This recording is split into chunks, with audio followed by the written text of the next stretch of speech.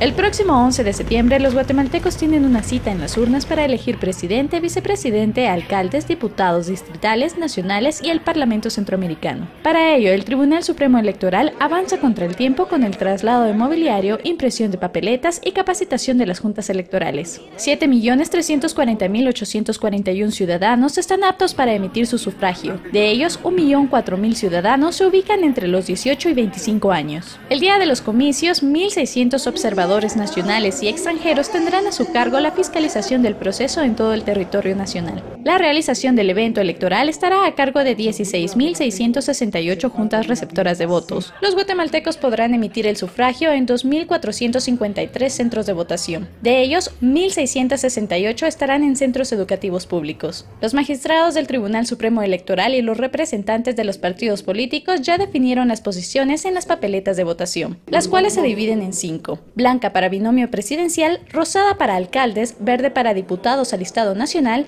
celeste para diputados distritales y amarillas para el Parlacén. 10.761 resmas de papel serán utilizadas en la impresión de las papeletas. Los centros educativos que serán utilizados como centros de votación serán cedidos cinco días antes al Tribunal Supremo Electoral para la colocación de mobiliario y equipo, que servirá para facilitar el sufragio y la transmisión de datos. El TSE ha puesto a disposición de los guatemaltecos el número 2412-1600 para información sobre la ubicación del centro de votación y mesa donde le corresponde votar a cada ciudadano.